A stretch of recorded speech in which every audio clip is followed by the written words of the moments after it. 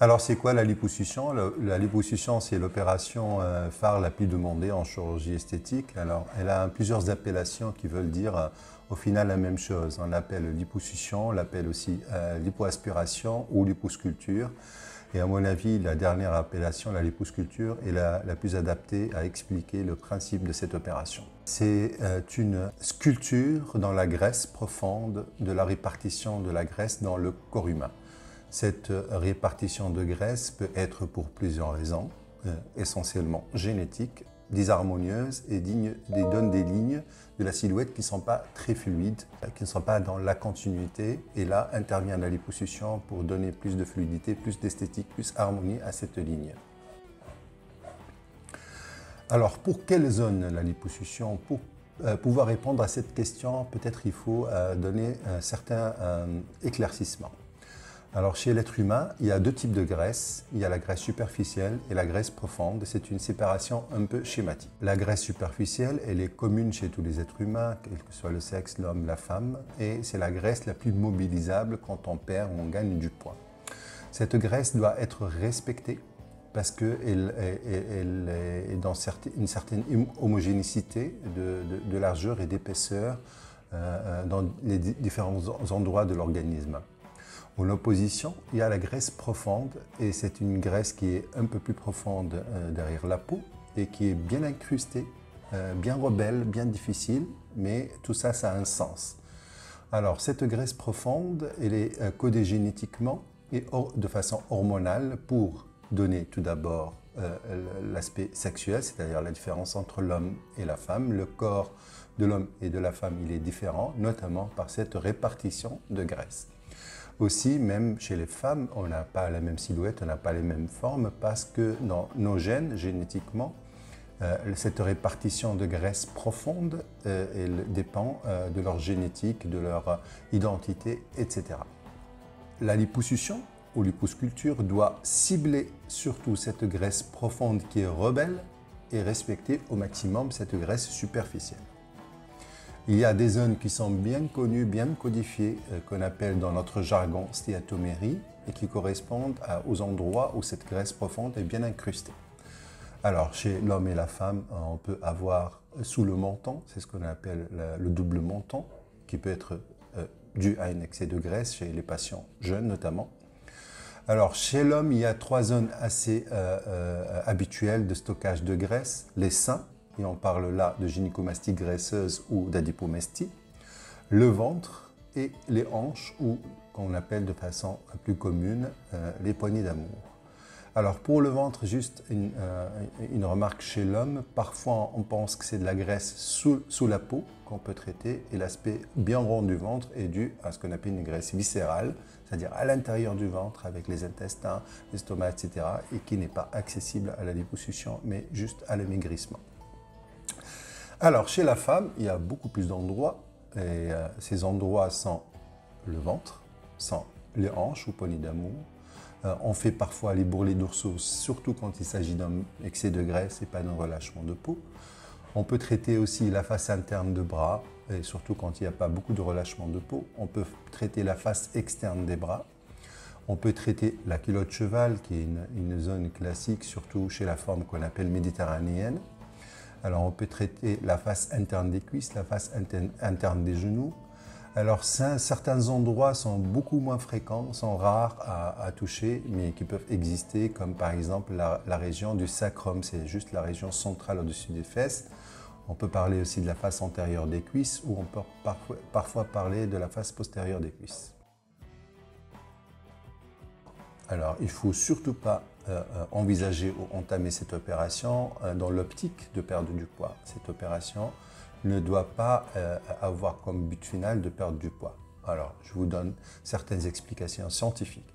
Par exemple, une liposuction au-delà de 3 litres est considérée comme une liposuction importante qui peut être donc considérée comme une opération assez sérieuse et 3 euh, litres de graisse enlevée euh, correspondent à à peu près 2, kg.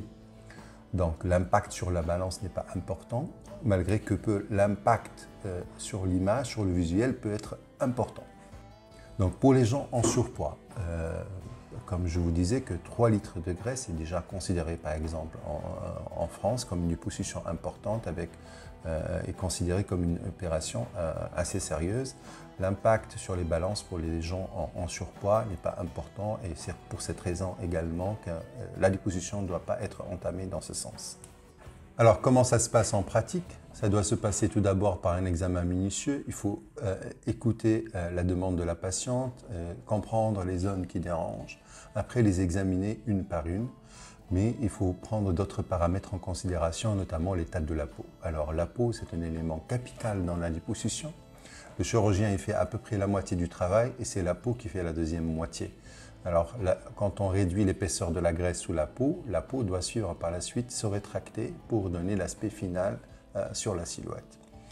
Donc, après l'examen, on va déterminer les, zones, on va les dessiner euh, avant l'opération, euh, patient souvent debout. L'opération en soi, elle se fait généralement sous anesthésie générale. Dans des cas très particuliers, on fait sous anesthésie locale quand vraiment c'est très limité. La liposuction, c'est une opération. Pourquoi elle est très sollicitée? Parce qu'elle est considérée comme à des cicatrices vraiment limitées, assez discrètes ou, ou, peu de cicatrices.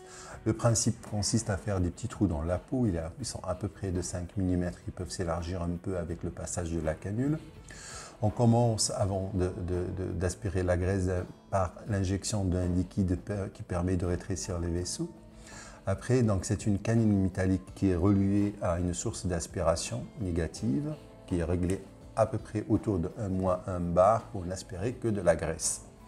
Alors, c'est des canules qui sont bien codifiées, avec un diamètre bien codifié, qui vont, euh, euh, en, en, faisant des passages répétés sous la peau, aspirer la graisse et réduire l'épaisseur de la graisse aux endroits dont on a bien parlé, donc aux endroits bien spécifiques.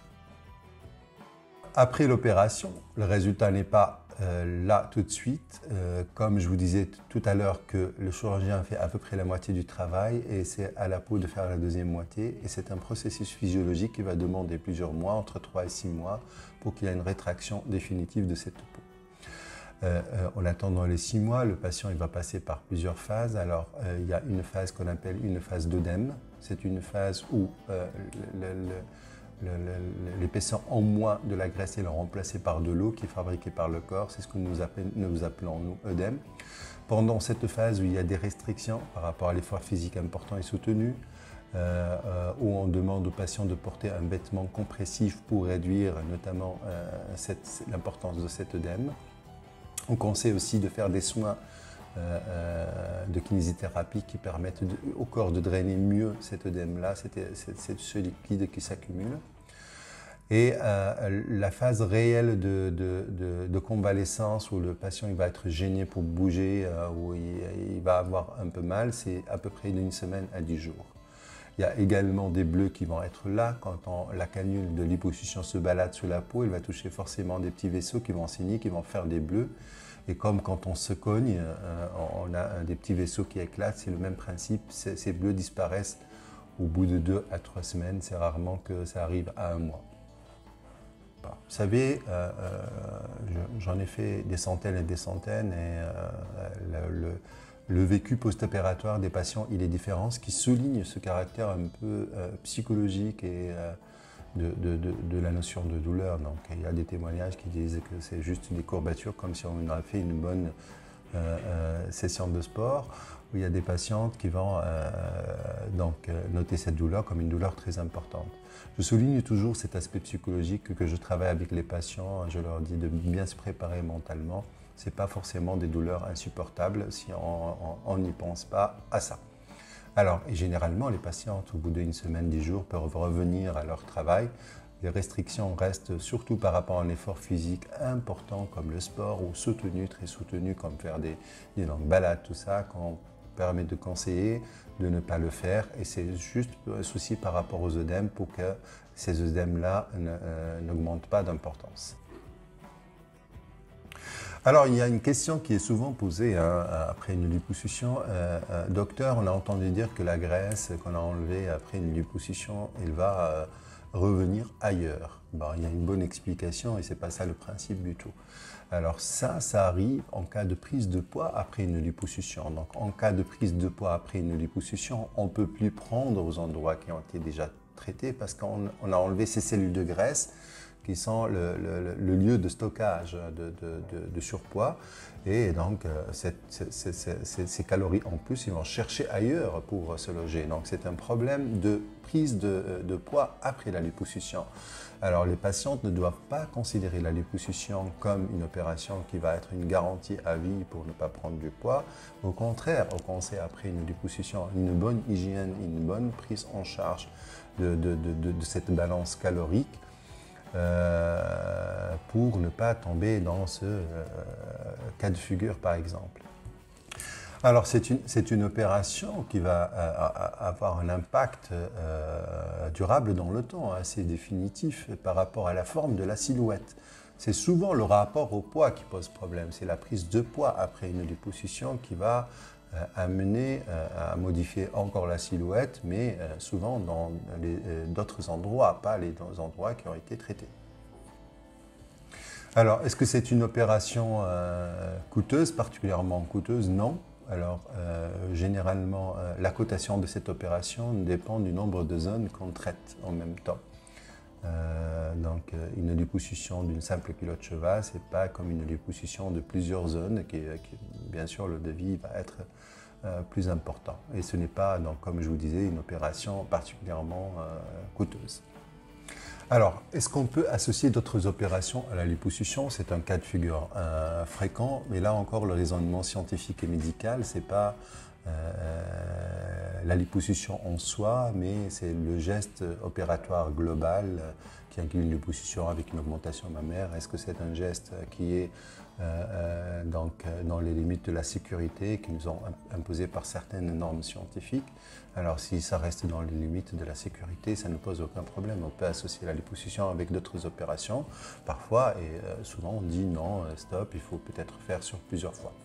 Je ne parle pas de la liposuction, donc faire liposuction cette fois, il faire d'autres opérations une autre fois. Alors bien se préparer à sa liposuction, c'est bien sûr euh, être en phase avec son, chirurgien, bien discuter avec lui, bien être à l'écoute de ses explications et aux, indications euh, post-opératoires. La problématique qu'on rencontre parfois par rapport à, une liposuction avant de, faire la liposuction, qu'est-ce qui peut limiter? C'est euh, ce qu'on appelle le taux d'hémoglobine ou l'anémie chez la femme. Bon, certaines femmes peuvent être anémiques sans le savoir, elles vivent très bien avec une, anémie, elles ont trouvé un équilibre, et qui peut limiter euh, euh, la liposuction. C'est pour cette raison qu'il faut faire un bilan préopératoire en prenant un, bon délai avant pour déceler ces, problèmes d'anémie et pouvoir les traiter à temps.